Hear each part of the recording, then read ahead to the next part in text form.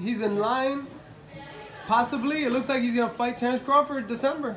Yep. Are you excited about the opportunity if I'm it happens? I'm very excited. I'm very happy that or it's already talking been about that because You've been we, waiting. wa- we won that fight from last year November when we fought Roberto Arriaza.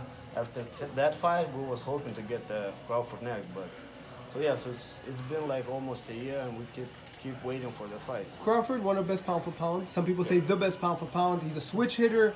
Yeah, You have to respect him, but it's boxing, and you you want to win. yeah. What do you have to do? How do you beat a Crawford? I mean, the orthodox out pressure. Do you box I box just him? need to knock him out.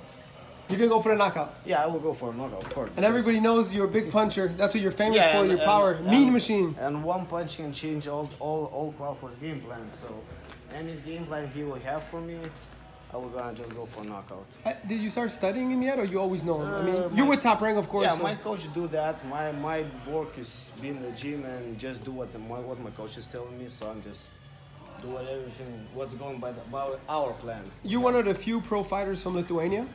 You're a two-time Olympian. Yeah. How big is this fight, you and Crawford, if it happens for Lithuania? Uh, it's a small country. This fight, I was getting ready for this fight 24 years.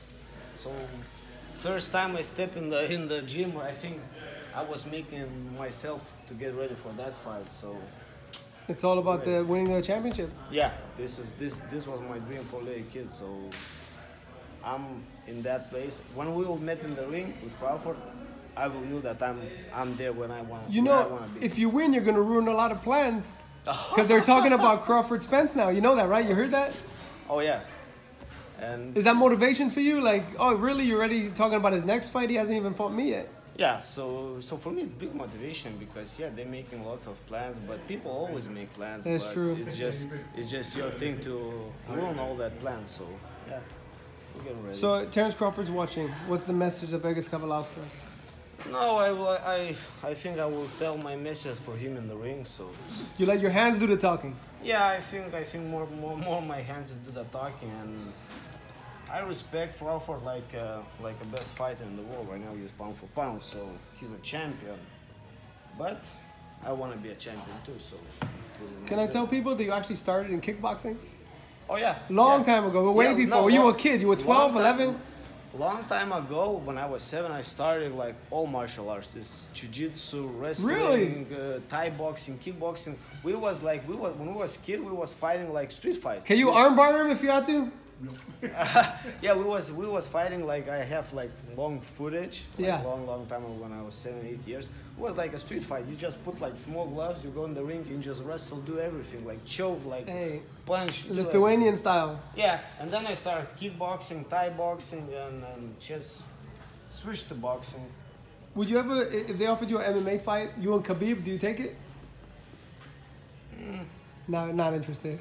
Nah, yeah, I stuck to, I, I don't ever think about that. I always stuck to boxing right now. But in the future, for some You money, never know. For some money, why not? It's all about business. All right, I guess tell people where to follow you if they're watching. Instagram. Mean Machine 147. Make sure to I'm follow always him. there. 147, like an AK. Yeah. Why 147? My weight class. Oh, okay, okay, okay. Weight class. Where I'm gonna stuck it? All right. You never fought uh, smaller weights? You always fought 47 your whole career? 147. And what, you I already like- have I 20 like, I like, yeah, I like this weight. It's the best weight. All right. There you have it. Stay tuned, getting ready. Let's see. They're talking about December 14 in New York for you and Crawford. And they also say Richard Commey against Teofimo, maybe on the same card. Yeah, it, I think it will be like good, very, very good card. We have lots of good fighters. Absolutely. So there you have it right here in camp. Early in the morning, the birds are still sleeping. Who's here in, in with us? Oh, this is my friend from Chicago. He's going for his fights. Who's he fighting?